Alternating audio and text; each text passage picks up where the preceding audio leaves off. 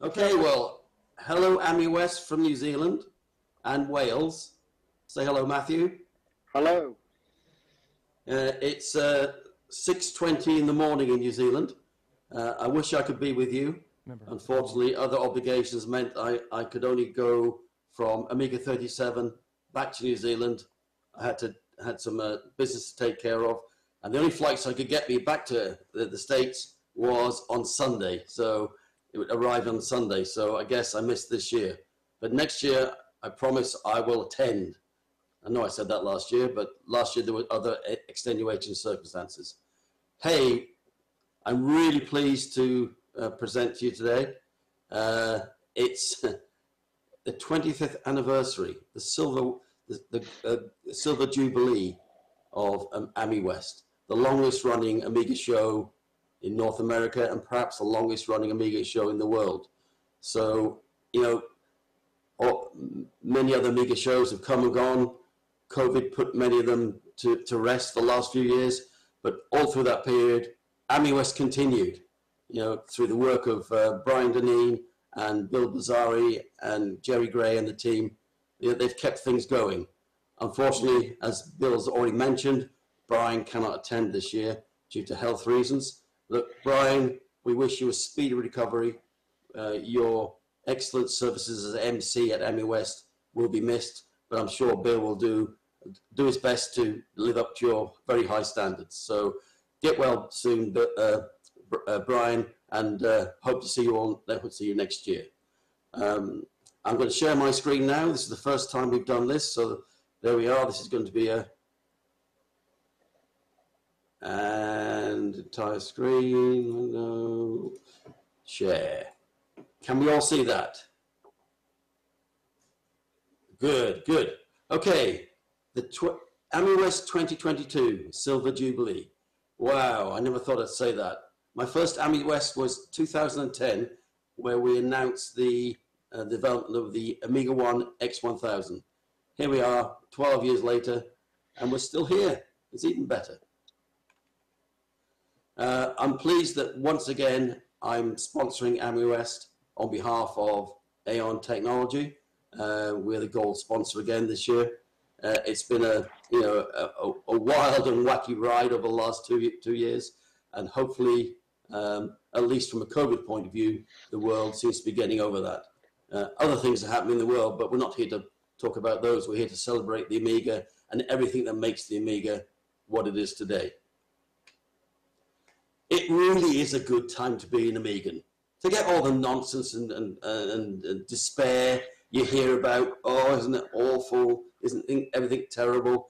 Actually, having been to Amiga 37 in Germany, which was probably the biggest show of, the 20, of, of this century, uh, with up to over 1,400 people registered. It was a massive show, and the every Amiga flavor was on display. Classic, next generation, uh, Amiga OS 4, MorphOS, uh, AROS, emulation, FPGA, you name it, it was all there.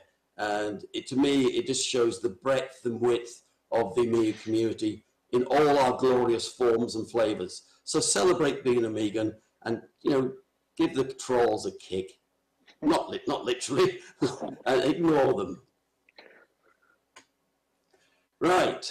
Uh, at last AMI West, I mentioned that we just got uh, a OS4 booting on the uh, A121222 motherboard. Uh, I fully expected everything to be out and delivered and you know and to be in the field uh, in the wild now.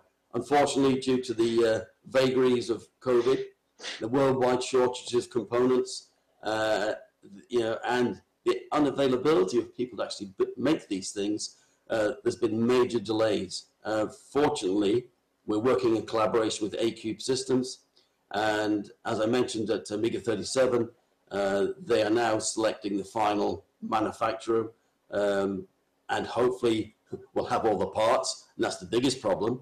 Uh, prices have gone through the roof, uh, but we're pushing ahead. We're committed to building the boards, and uh, and as Enrico Vitali of A-Cube said at AMI West, uh, sorry, at Amiga 37, and I've got the proof because it's on video. Uh, we hope to deliver the production boards in the first quarter of next year. Um, it's going to be an expensive process for us, but I'm committed to doing it, so we'll try and keep the price down as low as possible. Uh, I, you didn't hear me say that, Matthew. I'll keep quiet now. but one thing that Aeon's been doing over the last few years is a massive and continuous ongoing software effort. And, and shall I say, expensive ongoing software effort. And uh, rather than me talk about it, because I don't control this, um, Matthew controls our very active uh, Amiga development team uh, of uh, developers and beta testers. Uh, it's, uh, it's a not an inexpensive effort. And Matthew, I'm going to throw it open to you. Hello, everyone. It's great to uh, talk to you virtually. I wish I was there. Um, hopefully, next year I'll be with you in person along with Trevor, and uh, we can we can celebrate some more successes uh, over the year. Um, I hope you enjoyed the recent release of the Enhancer software 2.2, which we brought out back in August. Uh, it was a it was a, a very large update with um, a major version of Warp 3D Nova, which was very important for 3D games. And I'm, I'm sure you've seen some of the games that have come out since uh, the 2.2 has been released. It's opened the floodgates for more advanced gates uh, games uh, to be released on on OS4. Um, there has been eight updates of the enhancer since uh, August 2016, since its inception. And uh, we, we were pleased that we've only charged for two versions. We've charged for the version 1 initial license and the version 2 and a second license. And in between, all the updates have been completely free of charge to those users. So uh, they, they represent many months of work each each update, and we, we were pleased that we could uh, provide that to the community without having to go back for any any additional money.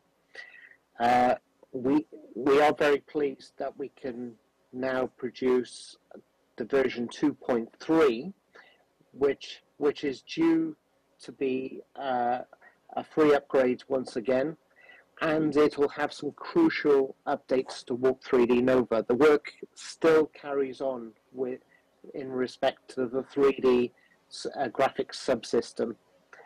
Uh, as, as well as up, upgrades, there will be brand new exciting components included, and we're, whenever we can, the future work that we're doing for the Enhancer 54, we're bringing down the technology and included it in the, the recent upgrades.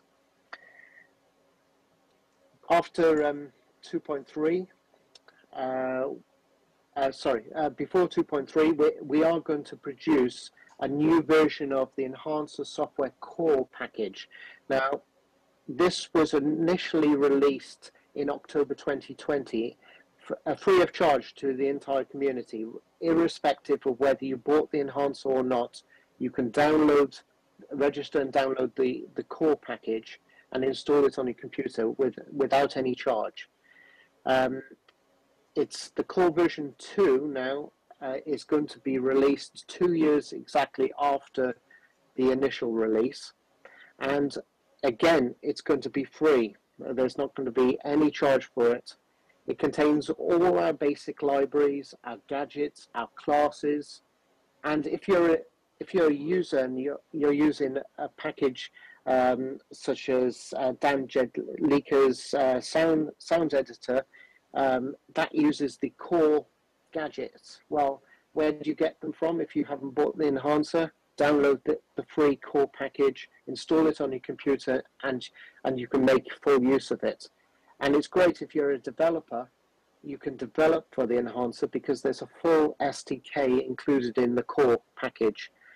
Um, and uh, we, we, we, don't, we don't want to just update the package. We are going to include some more things into the core to, make to make it a wider package uh, for, for users and developers, crucially. So uh, last year, you might have heard Trevor talk about the Enhancer 54 project. Now, this is a self-booting distribution. Uh, so some users were asking, I don't want to install the enhancer over my OS4 uh, partition because I want to keep it as as it came from Hyperion. And we understood that the Enhancer 54 allows you to install the Enhancer software on its own partition. And it takes a few key components from the OS4 distribution, um, which, which are installed, and then it will be a self-booting system. Now, it is a very large project. It's an ongoing uh, project, and uh, and it's it's taken a long time to get to this point. It's Aeon's most ambitious project to date. Um, there's going to be some very important key components in there uh, that we've never seen before on our platform. Uh, so in six to nine months, you should see this this coming through. Um, one of the important things that we've done recently that I can I can announce is um, we've got a license for AMI TCP, and there's a PPC version that's been ported, uh, and it's now got DHCP support as well. So that will be included in the Enhancer Software 54.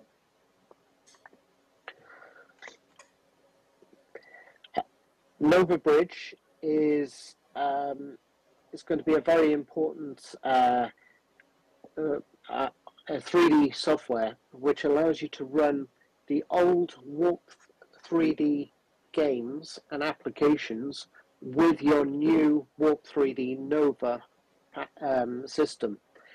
Uh, this is very important if you if you like your old games, but you you want you've got a modern system with with Nova and a modern graphics card. Um, Nova Bridge is the bridge to the old the old uh, games.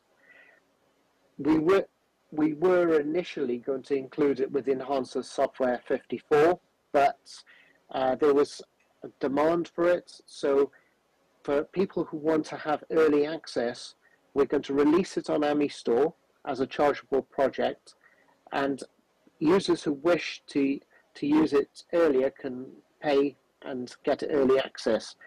Uh, the revenue from this we will then reuse and uh, recycle back into our graphics development projects. So, um, like most of most of Enhancer revenues, it it gets put back into developing more complex uh, software projects uh, as we go along. Um, thanks, Matthew. Uh, one thing that's not really an Aeon project, but it's one I'm, I'm, I'm fully involved with and funding, and that's the ExecSG for OS4. I don't want to talk about this because we've got a, a, a complete presentation by uh, Steven Solie that follows uh, our presentation here. And Steven is the lead, team lead for uh, the uh, ExecSG uh, team, and he will tell you all about our progress with uh, ExecSG. But uh, it, I think it's worth mentioning because it is a major component of OS4, and without it, uh, OS4 won't be running on our PowerPC hardware. Uh, this is a shameless plug for the uh, From Vultures to Vampire trilogy. Um, uh, uh, it's it was supposed to be one book. I knew it would never be one book. Uh, I hope to make it into two books. Um, uh, but unfortunately, due to the uh, story, you know, trying to cover the story properly, uh, volume two was uh, twice the size of volume one. So David took the David Pleasance took the difficult decision of splitting into three books, mainly because uh, the printer costs for um, volume two were prohibitive due to COVID, rises in COVID, and shipping costs were even worse. So, so breaking it down to two to two volumes to make it a trilogy um, means we can control, he can control the costs a lot better. Um, uh, following talks with uh, Michael Battilana, uh, I'm going to try and change the strapline underneath for volume two and three to reflect what those volumes cover. So I'm sure Michael will be happy with that. Um, so uh, volume two, volume two and three are both finished. The text of volume two and three are both finished. Uh, I expect volume two to be released uh, early next year. It may be a digital version first, and volume three will be shortly afterwards because it, you know, all the text is finished. Just needs the layout for volume three. So if you want to know, if you missed some of the post Commodore Amiga story and Commodore story, this really attempts to give a, a fair, unbiased overview of all the developments. Uh, and what really impresses me, uh, having researched and written uh, the vast majority of the book, is the, the sheer breadth uh, uh, uh, of the Amiga community and just how, how smart, clever people we've got in this community. A lot smarter than me, I'll say that for sure. Now, quite a short presentation today, but we really want to get across, obviously, the, the A1222 Plus, that's our focus from the hardware side. From the software side, you know, we've already touched on some of the work we're, we're involved in. Uh, there's a lot more going on behind the scenes, uh, which we, we are trying to um, uh, continue our, our drive towards uh, the, you know, the ultimate Amiga OS 4 operating system going forward. Um, it's, it's our drive to help to do that with our uh, content creation partners and with our stakeholders. So without any more presentation from me, how about some questions from the audience? Um, to make this work, uh, if you have a, any, raise a hand. Nobody has a question. Oh my God. Question. I will repeat it. Okay, my question is, at what point can we expect pricing guidance on the Tabor board and a firm ship date? So LD just want to say, great job on the Tabor and can't wait to buy one. so uh, LD's question is, um, when can we get pricing guidance and a firm ship date? What, what is your expected date when you can let people know what it's going to cost and uh, when to buy them? Okay, um, ship date, uh, actually, I think Enrico said January, but he's an optimistic Italian. No offense. Uh, it, it, will it will it will depend on probably me us paying uh, upfront for the whole production run and uh, and availability of components. When I say first quarter, I'm LD. Uh, I'm pretty confident the first quarter will, will be the, you know February March will be the shipping date. Uh, cost, I'm still trying to keep it down to the levels that we talked about. Uh, Matthew's probably wriggling in his seat now because the, the prices we, we've got um, and we're still you know trying to uh, negotiate those are ridiculously high. Um, but I've committed to funding it, so I will do my best to keep the price within reason. Does that answer your question, LD?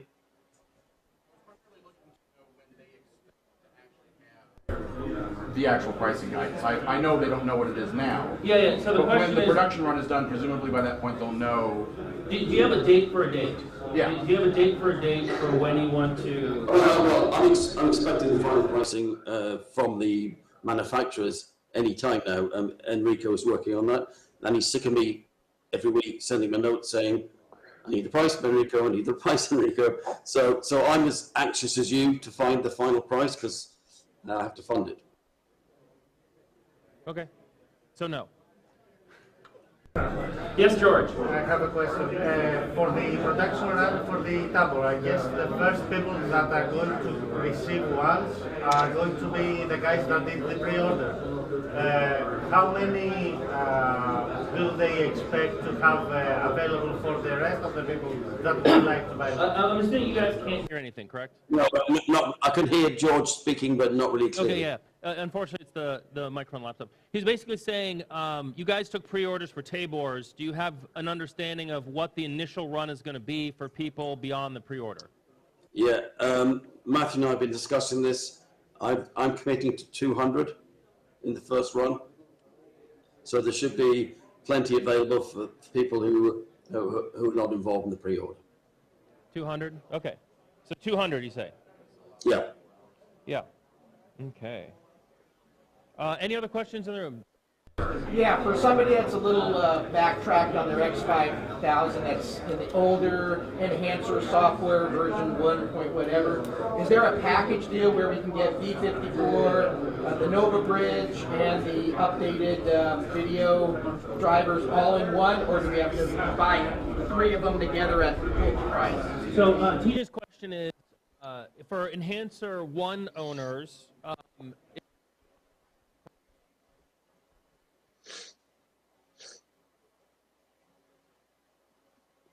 Matthew, do you want to answer that one? Yeah, yeah. Well, the, the logical uh, next path would be to go to Enhancer 2 because that's that's the line that we're we're developing for at the moment. Uh, 54 is a future project, so I would um, uh, I would encourage customers to to go from version one to version two, um, and then let's see what happens with 54. Um, six to nine months, we we've still got a development time on 54, and um, we've still got to beta test it then and uh, and get it through the door. So, um, yeah. Matthew, uh, is, is, is, there, is there an upgrade price from version 1 to version 2? No, no, there hasn't. There's been such such big changes between V V1 and V2. It's been very very expensive development V2. Um, uh, it's uh, we we couldn't justify an upgrade price. We did initially uh, for customers customers who bought the the graphics upgrade from version one. They got V2 for free. So if you went that path, and this was a couple of years ago, and you bought the graphics upgrade, you you qualified for V2 for free. And a lot most of the customers did this but uh, that's that path is closed now. So you know you have to go you have to go full price on V2 now, and um, we're still we're still not getting all our revenue back for the for the development that's gone into V2. Uh, so we can't really justify any more discounts. Um, we've already discounted, like through the graphics upgrade path a couple of years ago. We've already discounted quite a bit. So what are you saying, Matthew, to answer TJ? It's you upgraded version V2, and then if you want the Nova Bridge, that's an additional. Yeah, uh, with with respect to Nova Bridge, you can wait till it comes out with V54, or if you want early access, you can buy it for full price now uh, and have the pleasure of early access. But um, uh, it depends. It's, it's purely up to you. You know which way you want to go. But we're being upfront. We're saying, look, we're, it's going to be in a future project, a product. Um, and if you want to gain early access, a bit like a VIP, you know, and ju- jump the queue, you can get jump the line, I should say, in America, and you can gain access to Nova Bridge already um, by by paying for it. But it, that's a that's basically you take your money and pays you, pays if you if you want to. It, it's purely your choice if you want to do that. Okay. Okay. Thank you. Um, we, uh, we reached out to Amiga News DE, and we got a couple questions from them. Um, I'm going to modify this a little bit. There's been reports of issues with the Cyrus Plus board uh, needing repair and whatnot. Um, there hasn't been a response to those questions publicly. Uh, do, you, do you care to comment on the support levels for people who had Cyrus boards that have had problems with them, um, and you know success rate on repairs, or how you're going to help that those folks? Uh, Cyrus has been very, very um, good quality product. Uh, we've had very few boards come back, and that the majority of the boards that we've had come back is when people have snapped off their SATA connectors or um, they've broken the uh, the clasp on the lithium ba- uh, battery holder. That um, and at one point we had oh, we had a couple of customers who knocked off capacitors off the board and ripped ripped some of the tracks. But we haven't had any failure rates because of uh, defective components. Um, the board has been very robust, and uh, it's been pleasing how robust it has been. Um, and the vast majority of the boards out there, we we haven't had any reports of them being uh, faulty or um, have developing problems. Um, so if there are some issues that we're unaware of, then please send us send us an email. Matthew? and we, we can we can look into that.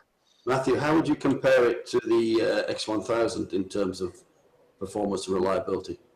Um, I think it's far more reliable than the X1000, but I think when Varisys designed the X1000, it was they were trailblazing and they learnt a lot of lessons with the X1000s. The X1000 is very very reliable, incidentally, but uh, I, I think you know they, they went overboard with the X5000 with belts and braces approach, and uh, you can really see you know that uh, at the, at the end of the day their, their business was the military sector, and they wanted to produce a board that. Uh, could could last for a long period of time. And uh, it, as we all know, Amigans love to keep their boards for decades. You know, so it was a perfect fit with with Varisys and their design ethics. I, I can I can attest to the fact that uh, I knocked a component off one of my 5040 board, and I was changing out I was changing out multiple graphics cards when I was doing some testing of the new. I must have changed out I don't know 30 or 40 graphics cards, and uh, and I managed to knock a component off just because uh, frustration and whatever. But never mind, it, it got fixed very easily. It happens. it happens. Yeah, yeah, but uh, that was yeah. one. Now, one thing that it, the question hasn't been asked, but I'll, I'll, I'll answer it because uh, someone at uh, Amiga 37 asked me when will the um, the X5040 boards be available based on the P5040 quad core CPU running at 2.2 gigahertz. Well, do you want to say something about that, Matthew? Yeah, we- we've got to the end of the P, P5020 boards now. Uh, we've almost exhausted our stock. I want to keep a couple of boards back, but um, now we, for the last couple of months we've been shipping out uh, to our distributors the P5040 itself, uh, and that's out in the wild. You might have seen on some of the forums people very happy to receive P5040s and uh, there are a lot of new happy owners of the of those out there. So um, yeah, it's out and it's sh- shipping, and people are, are are very content with their purchases so far. And is is the price any higher than the P5020 version? Yeah, it, it is higher, but we leave that down to resellers to to uh, specify what, what price they want to charge because they're going through at the moment computer components, uh, graphics cards, power supplies, towers uh, are all much higher uh, post COVID, and uh, these guys have to make a bit of money for assembling a complete computer. And, and also offering the warranty because the warranty comes from the, the reseller, so they're the first port of call. Um, so we, we let them decide the price that they want to charge the end user. And and they're supplied with an OS4 license.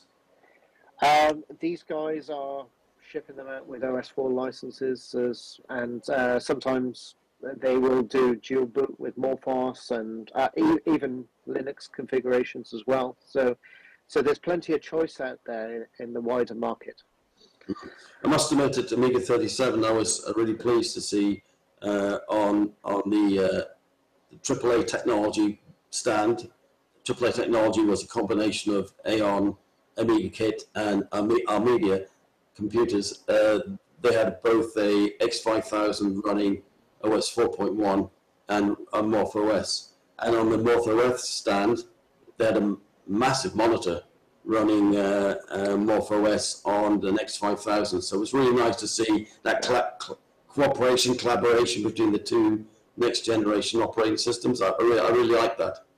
And at, at one point on on our stand, um, the Morphos machine went down, and uh, Frank uh, from from the Morphos team was enlisted along with uh, some of his colleagues to tr- try and get the hard drive up and running. I'm pleased to say that they did, and we had our X5000 running Morphos again, uh, thanks to them. Okay. Great. So uh, we, we, I'll take. Uh, how many more questions do we have here? I saw George. Anyone else? Any other questions on the show floor?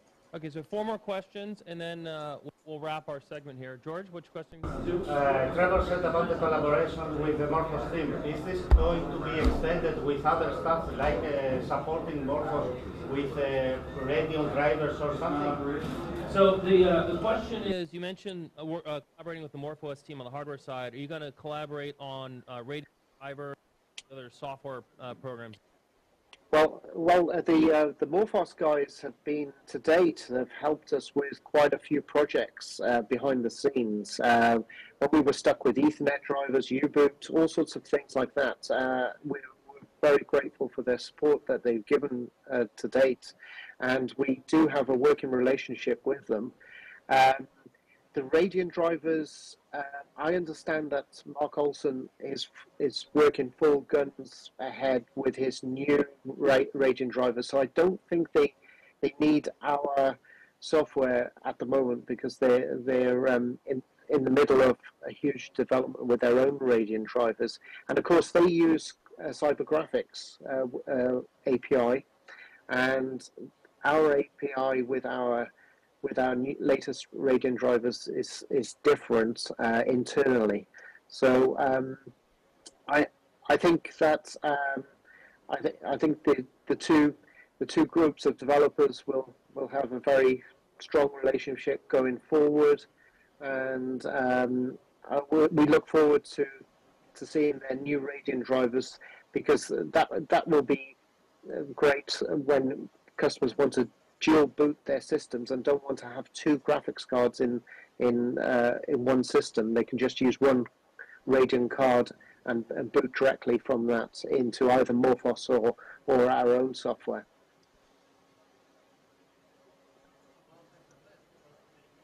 Well, the version might be much better than what we have, and they keep maintaining that.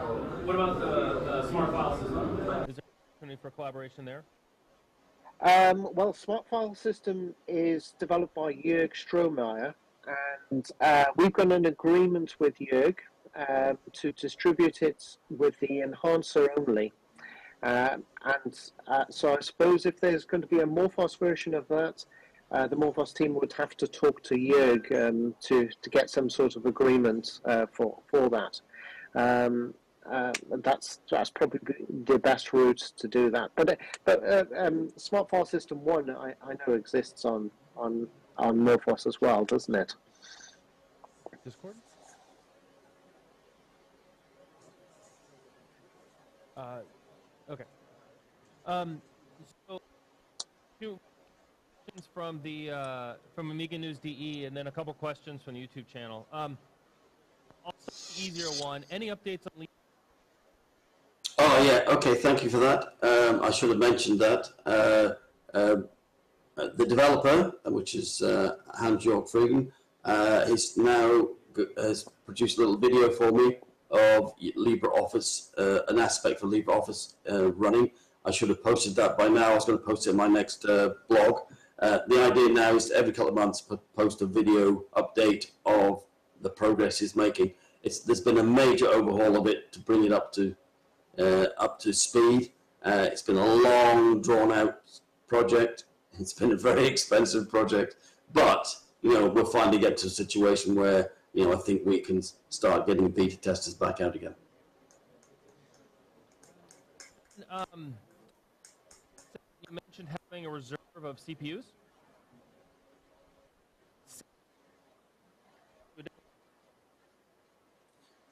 That'd be yeah, yeah.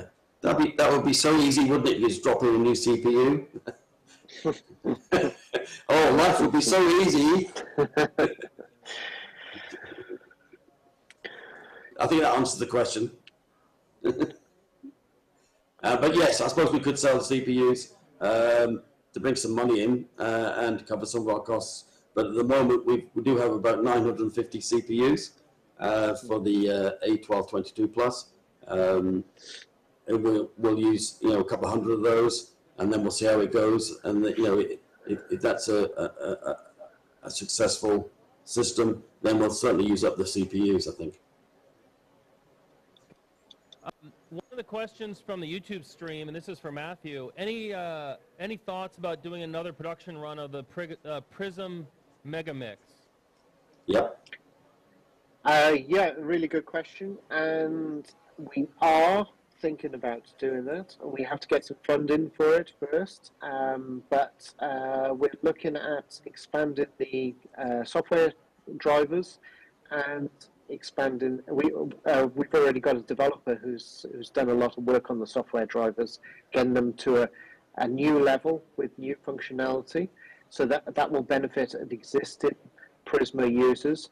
Uh, and if we can get some funding for the hardware, we can get, kickstart the new hardware into, into production. But that will be that will be in the, the in the new year, so the first quarter of the new year. So uh, Yeah. watch the, watch this space. Yeah, Matthew's been talking to me about that. I mean, he's been a bit, as typically, he's been conservative, Matthew. We are going to produce a new run of Prisma Megamix cards. Uh, he's right about the funding, and uh, uh, he's in negotiation with me about that.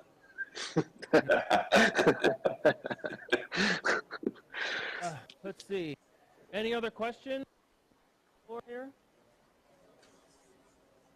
Okay. Well, you know, uh, just to point out the fact that it's uh, 11 o'clock on the west coast of the United States. It's 7 a.m. for you, Trevor, or 6 a.m. Yeah, 655. Uh, 7 p.m. here. Yeah. So truly a global effort because the video call is literally spanning the entire planet. Okay, that's it. Guys, uh, one of them go to bed. I guess both go back to bed. and then whatever we up later. We wish you guys could have made it. Thank you so much for your time dialing in.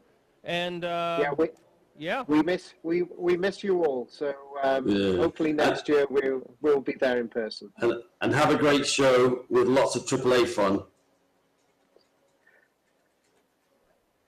Okay. Bye, guys.